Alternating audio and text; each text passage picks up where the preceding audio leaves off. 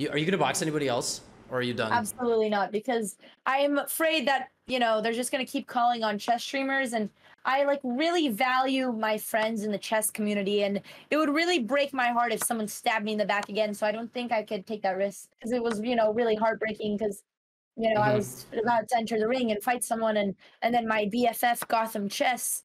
Who I get along with, and we do much sub battles and play much chess together.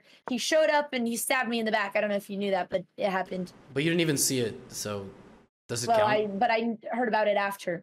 So that's even worse. Did you not see me at all while in the ring? No, and Were- I'm glad I didn't.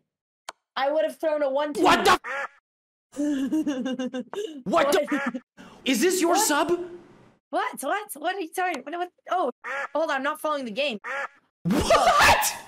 I my my computer froze. I didn't realize. uh, we're winning.